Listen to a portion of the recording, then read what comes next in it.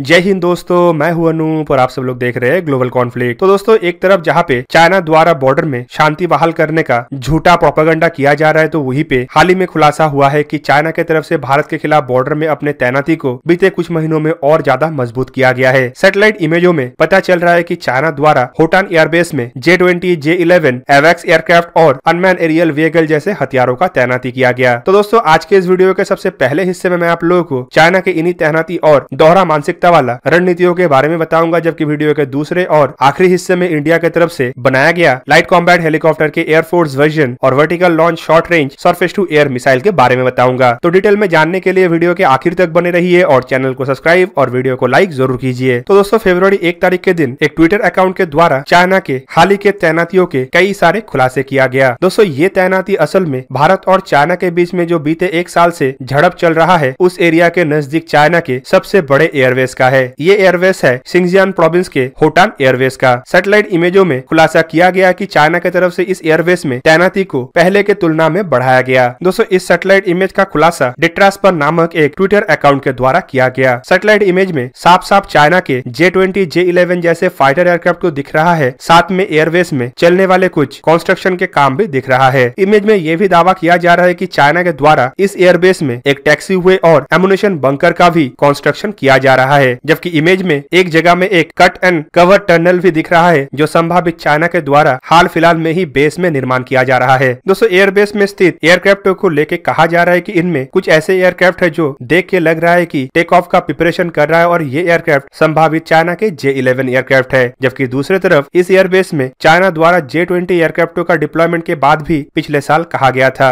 Even इसके अलावा China यहाँ पे हेलीकॉप्टर अनमैन एरियल व्हीकल एवेक्स एयरक्राफ्ट और इलेक्ट्रॉनिक वॉरफेयर एयरक्राफ्ट जैसे एयरक्राफ्टों का भी तैनाती किया है। एक्सपर्टों का मानना है कि पिछले साल के झड़प के बाद से ही चाइना द्वारा एयरबेस में अपने ताकत को और मज़बूत करने के लिए इस तरीके का तैयारी किया जा रहा है और जो टैक्सी वे का निर्माण किया जा रहा है, वो असल में ज़्यादा से ज़्यादा एयरक्राफ्टों को तैनात करने के लिए चाइना का एक प्रिपरेशन है। दूसरी तरफ़, cut and cover tunnel, bunker और एमुनेशन डिपो, ये दर्शाता है की चाइना यहाँ पे ज़्यादा से ज़्यादा एयरक्राफ्टों को तैनात करने के लिए खाली अपना तैयारी नहीं कर रहा है, बल्कि एयरबेस को ऐसे भी बना रहा है जिससे उन एयरक्राफ्टों को प्रोटेक्टेड भी रखा जा पाए। ऐसे कट एंड कवर टनल एयरक्राफ्टों को एयर रेड से बचाने के लिए तैयार किया जाता है, जबकि एमुनेशन डिपो एयरक्राफ्टों में ऑपरेशन में इस्तेमाल होने वाले हथियारों के स्टोरेज के लिए ही बनाया जाता है। दोस्तों, चाइना एक तरफ़ भारत के साथ बिज़नेस रिलेशनशिप को नॉर्मल रखने का बात कह रहा है और ये भी दुहाई दे रहा है कि दोनों देशों के बॉर्डर सिचुएशन को लेके भारतीय गवर्नमेंट को ट्रेड और बायोलेटरल रिश्ते के ऊपर असर नहीं डालना चाहिए। मतलब दोस्तों, चाइना के इस तरीके का बयान साफ़ साफ़ ये दर्शाता है की चाइना एक दोहरा चरित्र वाला देश है, जो एक तरफ़ भारत के ज़मीन को हड़पने के लिए बॉर्डर के नज़दीक अपना तैनाती बढ़ा रहा है और भारत के ऊपर प्रेशर क्रिएट तो कर रहा है, ऊपर से दूसरी तरफ़ भारत से ही पैसा कमाने के लिए बिज़नेस को नॉर्मल रखने का गुहार भी लगा रहा है। पर इस गवर्नमेंट की तरफ़ से संभावित ऐसे दोहरा नीति वाले देशों के साथ उसके ही भाषा में बात किया जाएगा। दोस्तों, पहले भी मैं आप लोगों को कई सारे वीडियो के माध्यम से बता चुका हूँ की गवर्नमेंट खाली बॉर्डर में चाइना को सबक नहीं सिखा रहा है, बल्कि ट्रेड डिप्लोमेसी और इकोनॉमिक सेक्टर में भी चाइना को बीते एक साल में कई बार सबक सिखा चुका है। चाहे चाइना के मोबाइल एप्लीकेशनों को बैन करना हो या फिर चाइना के साथ ट्रेड को रेस्ट्रिक्टेड करना हो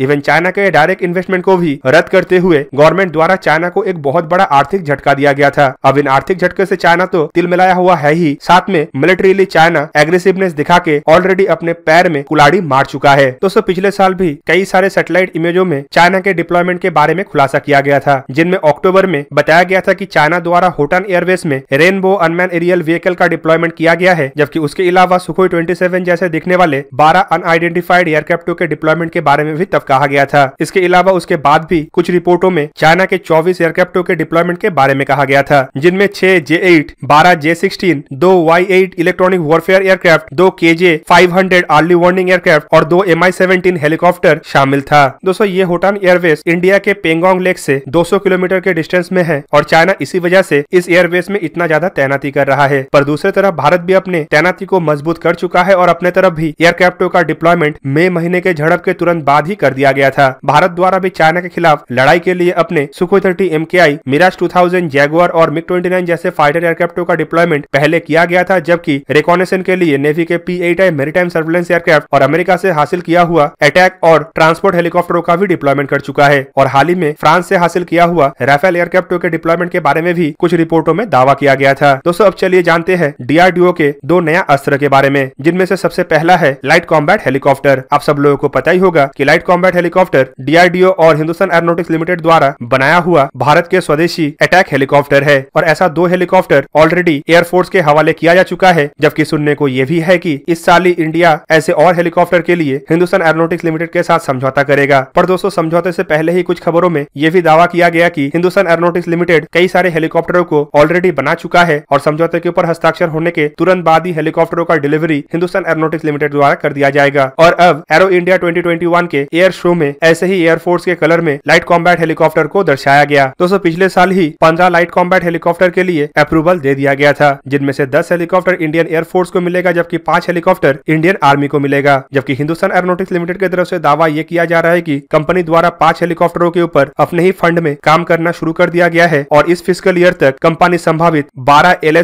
मोड के हेलीकॉप्टर के डिलीवरी कर सकेगा। दोस्तों light combat helicopter indigenous category के सबसे बेहतरीन हथियारों में से एक है। इवन इस हेलीकॉप्टर को दुनिया के सबसे हल्के मल्टी रोल अटैक हेलीकॉप्टर का दर्जा मिल चुका है, जिसका सर्विस सीलिंग भी दुनिया के किसी भी हेलीकॉप्टर की तुलना में ज़्यादा है। दोस्तों, इस हेलीकॉप्टर के अलावा डीआईडीओ की तरफ़ से एरो इंडिया 2021 में vertical launch short range surface to air missile का एक स्केल मॉडल दुनिया के सामने लाया जाएगा। दोस्तों, इस मिसाइल के बारे में आप लोग पहले भी सुन चुके होंगे। और ये मिसाइल कुछ और नहीं, बल्कि एयरफोर्स में इस्तेमाल होने वाले अस्त्र एयर टू एयर मिसाइल के एक ग्राउंड लॉन्च वर्जन है। एयरफोर्स के एयरक्राफ्टों में सक्सेस हासिल करने के बाद अब डीआरडीओ द्वारा इन मिसाइलों को इंडियन नेवी के जहाज़ और एयरफोर्स और आर्मी के ज़मीन से हवा में सुरक्षा के लिए बनाया जा रहा है। दोस्तों इन मिसाइलों को फ़िलहाल शॉर्ट रेंज के नेक्स्ट जनरेशन शिप और truck base all weather air defence system का दर्जा दिया जा रहा है, जो किसी भी कंडीशन में 25 किलोमीटर से भी अधिक रेंज में दुश्मन के किसी भी हवाई खतरे को न्यूट्रलाइज कर पाएगा। दोस्तों इन मिसाइलों के जो सबसे बड़ा खासियत है, वो है वर्टिकल लॉन्च सिस्टम और कैनेस्टर लॉन्च सिस्टम होना। मिसाइलों को संभावित two in two eight configuration में वर्टिकल लॉन्च सिस्टमों में लगाया जाएगा ताकि इसे इंडियन नेवी के जहाजों में तैनात किया जा सके। इंडियन नेवी के जहाज़ खास करके ऑफशोर पेट्रोल वेसल फ्रिगेट और डिस्ट्रॉयर जैसे जहाजों में इन मिसाइलों का तैनाती हो सकता है। और संभावित ये इंडियन नेवी में बराकवान सीरीज़ के मिसाइलों को रिप्लेस करेगा, जबकि आर्मी और एयरफोर्स के ज़रूरत के लिए इसे कैनेस्टर के साथ तैनात किया जाएगा ताकि छोटे से छोटे एरिया में इसे डिप्लॉय किया जा सके और 360 डिग्री के कवरेज के साथ ये हमेशा एक्टिव रहे। इंडियन एयरफोर्स में इन मिसाइलों को स्पाइडर सैम के जैसा ही इस्तेमाल किया जाएगा और संभावित ये स्पाइडर सैम के जगह को पूरा करेगा। दोस्तों, फ़िलहाल इन मिसाइलों को लेकर यह कहा जा रहा है कि यह डेवलपमेंट फ़ेज़ में है और आने वाले कुछ महीनों के अंदर इसका ट्रायल हो सकता है। रेंज को लेके फ़िलहाल ज़्यादा कुछ जानकारी नहीं दिया गया है, पर माना जा रहा है कि इसका रेंज शॉर्ट से मीडियम तक हो सकता है क्योंकि एयर टू एयर मोड में इन मिसाइलों का रेंज 80 से 100 किलोमीटर तक है, जबकि अस्त्र मिसाइल के I R version mark two और मार्क थ्री वर्जन के ऊपर भी काम करने का जो बात कहा जा रहा है, इससे हम अभी से ही अंदाज़ा लगा सकते हैं कि एयर टू एयर मिसाइल के आधुनिक वर्जन के डेवलपमेंट के साथ साथ संभावित vertical launch surface to air missile के क्षेत्र में भी एयर टू एयर मिसाइल के फ्यूचर वर्जनों को इस्तेमाल किया जा सके। तो दोस्तों, ये था आज का वीडियो। अगर आपको वीडियो अच्छा लगा तो लाइक कीजिए और मेरे चैनल को सब्सक्राइब कीजिए और साथ में बना हुआ बेल आइकन को भी प्रेस कर दीजिए ताकि आप मेरा वीडियो देख पाए सबसे पहले। जय हिंद।